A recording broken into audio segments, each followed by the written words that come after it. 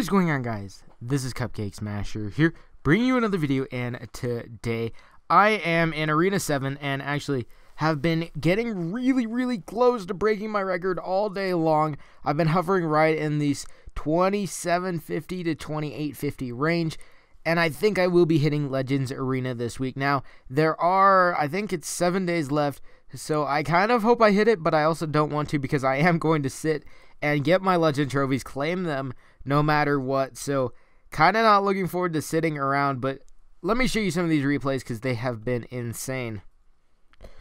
So here is the first one, guys. And I'd also like to add, we have been doing great on subscribers lately and uh, so close to 200 we're at 189 as the the time of this video and i'm super excited for 200 so we're starting the battle now. I got a minion horde off of him off the start. He's gonna be a mortar guy. You can see it right now.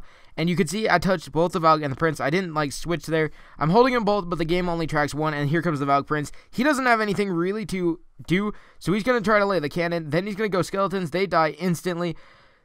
Falcon Prince onto the tower, and boom, it is going to melt right off the start. He doesn't even have a chance to get his mortar down, and it is already gone. Now my Prince, he lays the mortar. My Prince turns around onto the mortar.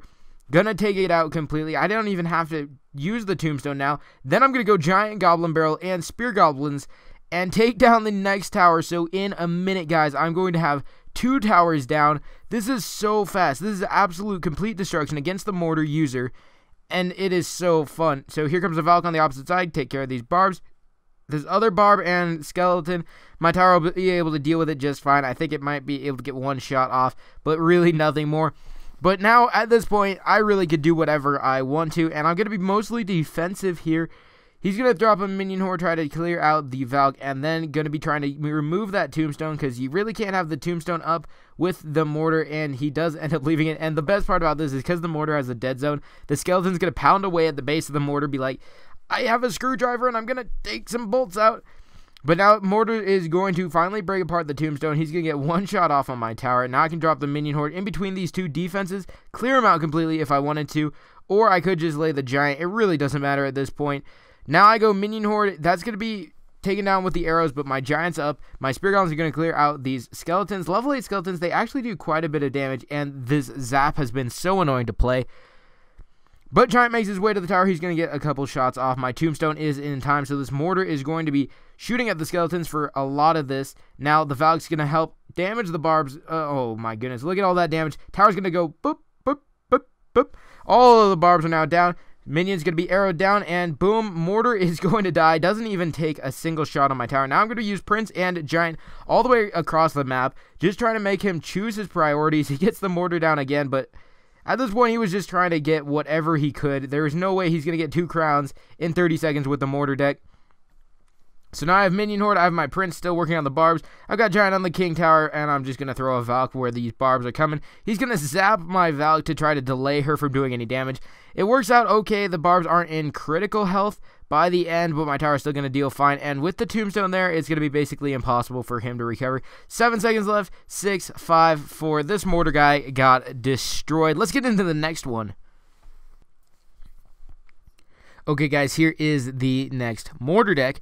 And you can see Tesla in the queue. These guys got really unlucky against me. They had their mortars last, which was really, really going to work out well for me. Now, this battle, though, I go down so much right here at the start. So I start, I start with my Giant. He's going to go Tesla, and I have my Spear Goblins. I actually do really, really well here. He's going to zap down my Spear Goblins, but that Goblin Bro is going to get through those skeletons. They should normally distract the back goblin, but he laid it too early. Two of them died with the impact, the damage on impact, and the skeleton picked uh, or the goblin picked off the last two skeletons.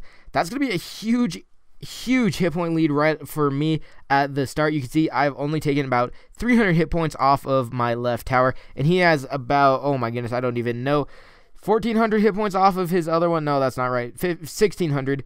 Now I'm going to be doing a Valk Prince, though, on the left side. Going to be trying to get this tower down, and he's going to go with Barbs and I think Minion Horde.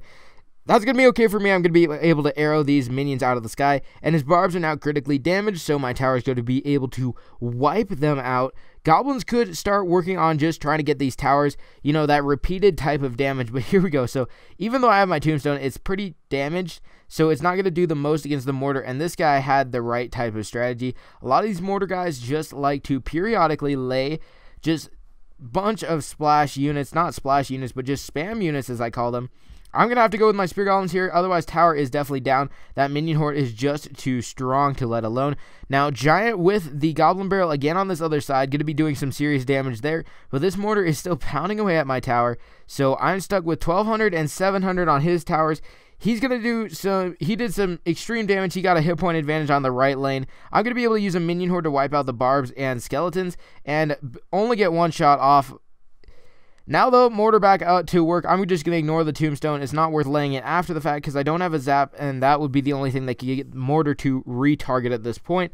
So there we go. My tower's down. Now I'm going to go Valk Prince on this side, and that's kind of the interesting thing. I decided not to go on the opposite side because of where that elixir was, and because I thought I needed to get the hit points down. You can see it's only 45 seconds left. I'm in some trouble and he look he has so many units. It's gonna be hard to crack anything. I go giant goblin barrel. Luckily for me, he goes minion horde off the start.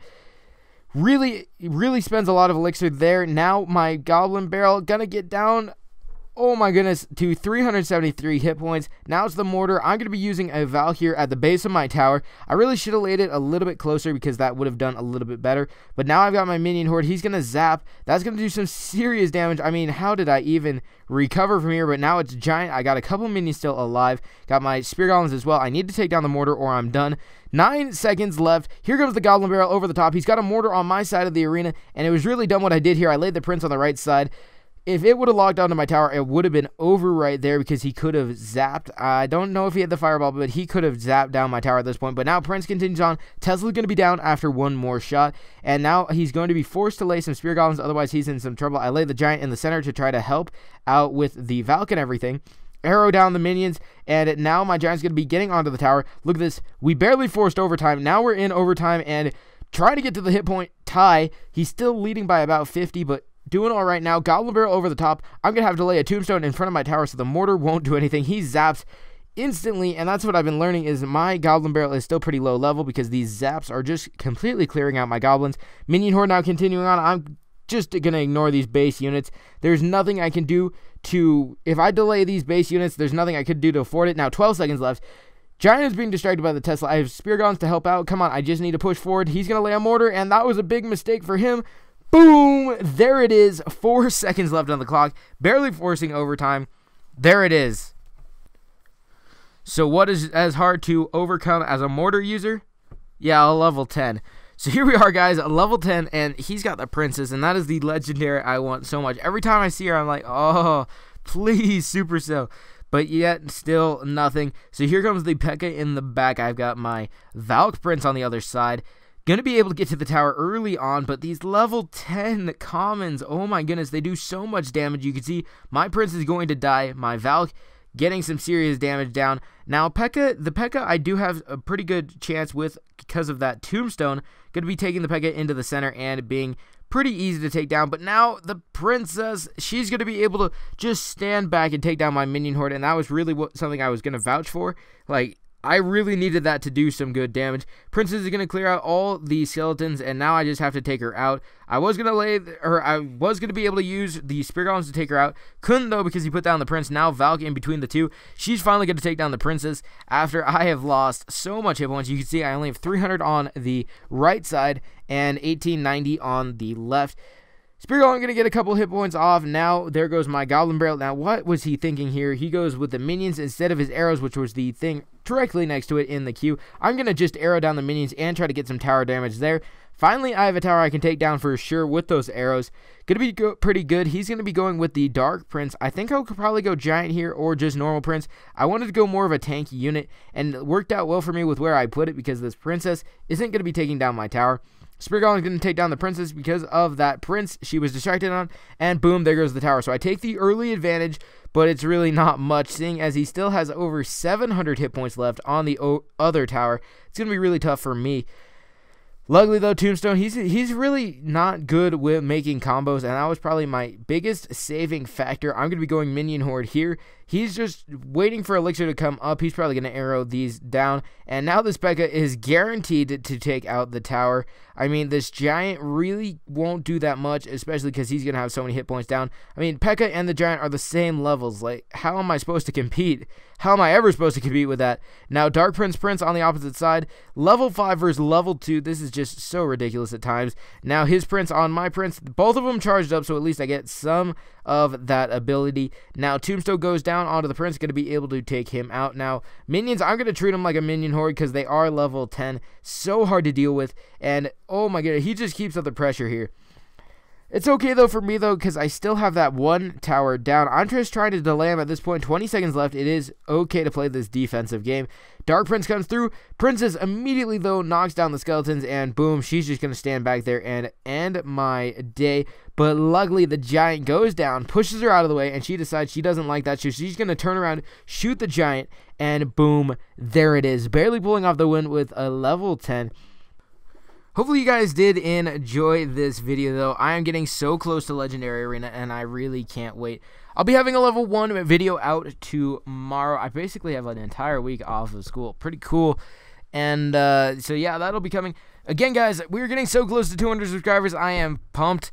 So get ready for that.